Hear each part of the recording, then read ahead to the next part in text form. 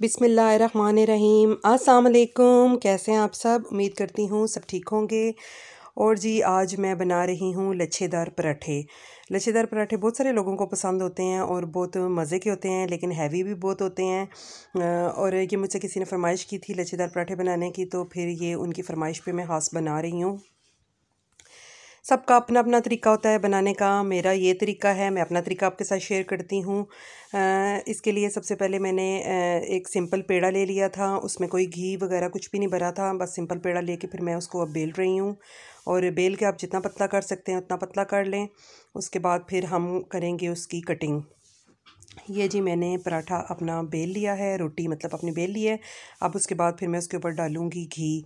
घी आप देसी घी ले लें तो देसी घी तो है बहुत मज़े का होता है, लेकिन इस वक्त मेरे पास नहीं है तो मैं डाल्डा घी इस्तेमाल करूँगी।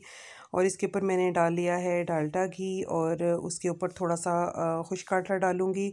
उसके बाद फिर मैं इसके स्ट्रिप्स काटूँगी। अच्छा खुश काटा इसलिए डालते हैं कि रोटी जो है ना, पराठा जो है आपका क्रिस्पी बने।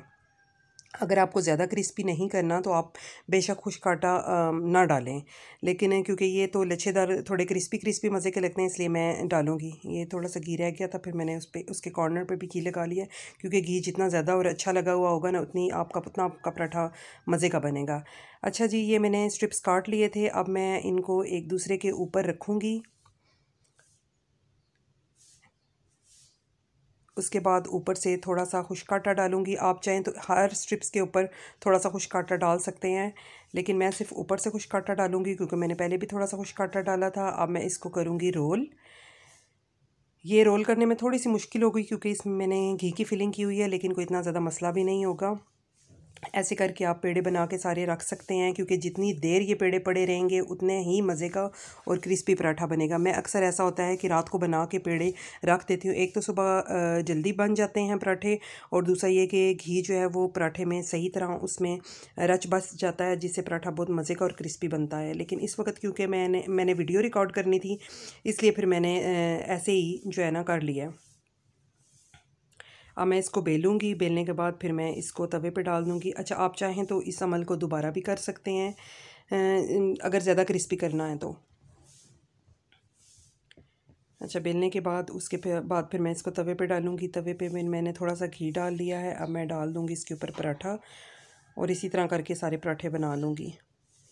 ये ऊपर से डालूँगी घी थोड़ा सा उसके बाद एक साइड पक जाएगी तो इसकी दूसरी साइड मैंने पलट लिया है।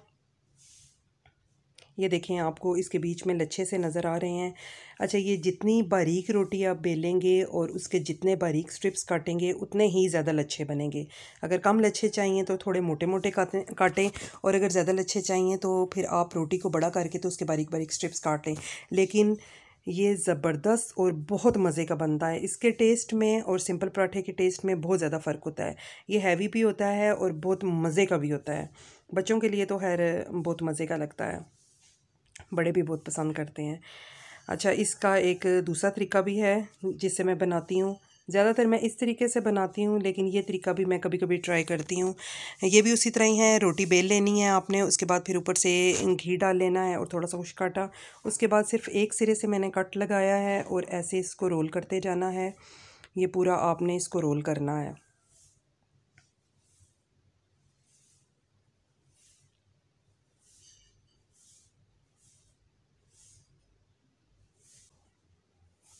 फिर इसको ऐसे रोल करके तो पेड़े की शक्ल में आपने कर लेना है। आप चाहें तो इस प्रोसीजर को दो दफ़ा भी कर सकते हैं। अच्छा उसके बाद फिर बेल के इसको जैसा दूसरा पराठा बनाया उसी तरह ही बना लेंगे। और इसको आ, मैं सर्व करूँगी चने का सालन मैंने बनाया था तो उसके साथ सर्व करूँगी। और ये थी जी मेरी आज की वीडियो पसंद आए तो लाइक और शेयर ज़रूर कीजिएगा। और अपना ढेर सारा ख्याल रखिएगा नेक्स्ट वीडियो तक के लिए। अल्लाह हाफिज़।